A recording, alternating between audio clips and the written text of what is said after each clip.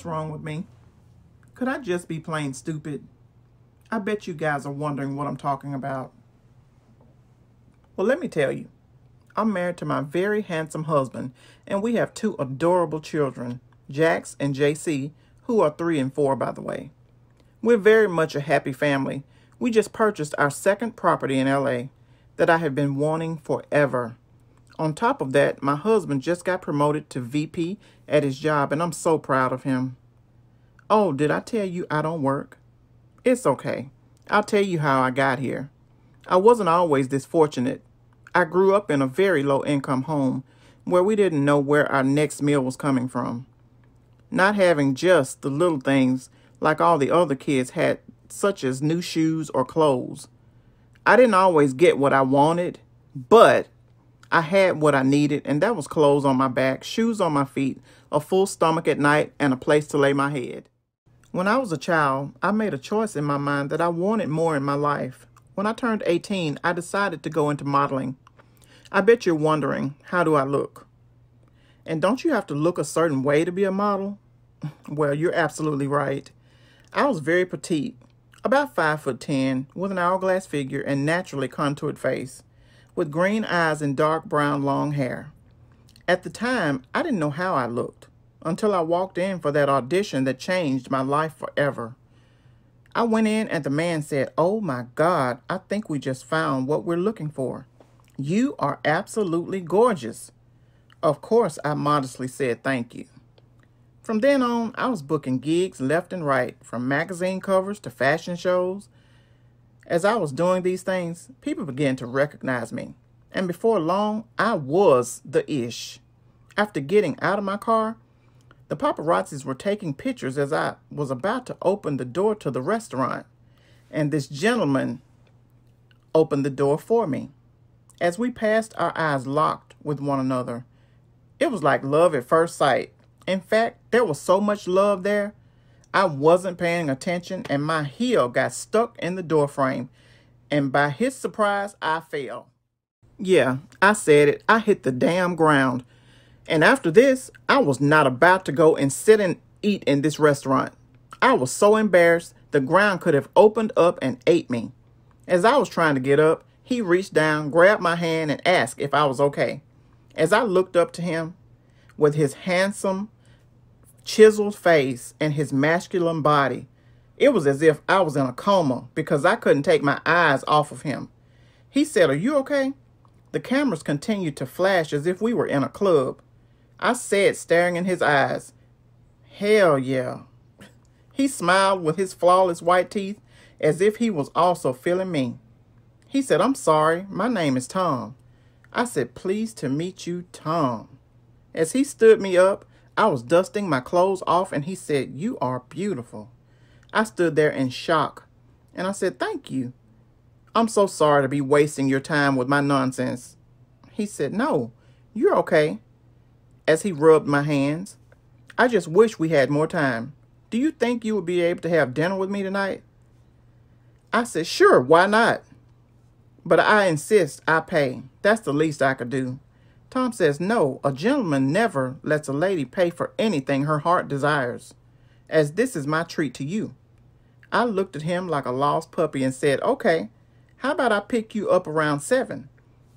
He said, I said, Okay, sure. I looked at him with a smirk and asked him to give me his number so I could send him my address. So as I'm typing my address to send to him, I look up and catch him admiring me, which made me blush and smirk even more. After sending him my address, he kissed me on the cheek and we left. I was so ecstatic, I couldn't wait. I went to my condo to pick out a dress that would complement my figure. So I found this fit and flare Vera Wang dress that was cut out in the back and had rhinestones down the sides and my red bottom heels. I got to the lobby and I saw him standing there with a driver, waiting on me. I was in awe. As I walked out of the double glass doors of my condo, he said, Wow, you are a sight for sore eyes. As he kissed me on the hand, the driver opened the door and we both got in. The whole drive to the restaurant, we couldn't stop smirking at one another. When we arrived at the place, the driver opened my door and I got out, and so did he. And we walked up to the door. I didn't see anyone else walking in, and when we were inside, there was not a soul in sight. He says, I hope you don't mind. I rented out the entire restaurant for us because I wanted nothing to take the focus off of me getting to know such an amazing woman. I stood there with my hand over my mouth. He walked up to me and grabbed my hands and said, I don't know what it is, but I feel myself falling in love with you, if that makes sense. And I know we don't really know each other that much, but we have a lifetime for that. And he gets on one knee and pulls out this box and says, That's if you want to. He opens it and it's a ring that could choke a horse. He says, This is not an engagement ring, but a promise ring. A promise to always put you second in my life behind God and to treat you like the queen you really are, to love you unconditionally and give you all of me and more. As I stood there, I was thinking back to what I went through as a child, and now this woman that I had become. I said to him, This world is full of so many obstacles and trials. I wouldn't want anyone else there by my side other than you. So, yes. So, at this point, I'm pretty sure you know what happened. Or shall I retort? The next couple of years were pretty busy. I found out what type of businessman Tom was. After our promise ring date, I believe it was about four years later, we were walking down the aisle with a bun in the oven. I was about seven months on our wedding day, and we were excited to have our first child. It was soon time for me to deliver, and I had thought about what Tom said years ago as he helped me pack my overnight bag. Hmm, to treat me like the queen. That he wanted to love me unconditionally and give me all of him as long as he lives. I thought at that very moment, God has truly blessed me. Our little Jax had entered the world, and boy, was I happy. As I watched him love on Jax and cuddle him, I knew he was the one for me. As time passed, I was in the hospital for about a week, recovering, before we went home. It was time, so we packed up everything and off we went. As we drove, I noticed we weren't going the same route. I asked, Where are we going? He said, I have a surprise for you and Jax, so close your eyes. I said, Okay. I believe we drove on for about five more miles. Then the car came to a complete halt. Tom got out and came around to my side and opened my door. He said, Now I'm going to help you get out. He helped me out and positioned me just right and said, now you know how much I love you, right? I said, Yes, of course. I don't think you do, he said. I said, Huh? He said, I love you this much. Open your eyes. I screamed, cried, and hugged my husband. He had bought me the house I had been wanting for so long. It wasn't too far away from our old home, so I used to pass it every day wanting it to be ours. It was a 10,000 square foot mansion. From the outside, looked like it came out of a magazine. And I can just imagine what the inside looked like. He said, Go ahead and see the inside, and I'll get the baby. I said, Okay, with excitement. As I opened the door, it was like I was walking into heaven. I stepped into a very huge foyer, which had wrought iron staircases on each side and a huge crystal bronze chandelier hanging from the ceiling. It was furnished from front to back.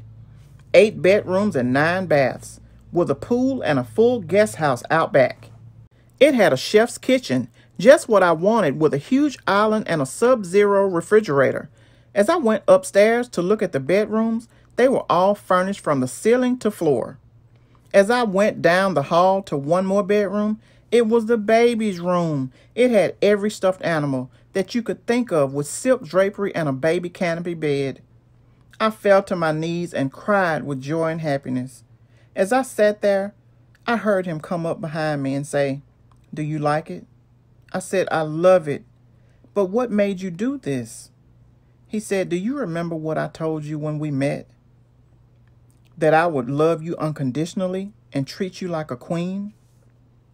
I said, I love you so much, and you are everything I ever asked for as I kissed him. We had been living there for about a year when I found out that, yep, I was pregnant again. We had a little baby girl named JC. He loved her just as much as Jax, and that filled my heart with so much joy. I thought I couldn't ask for any more.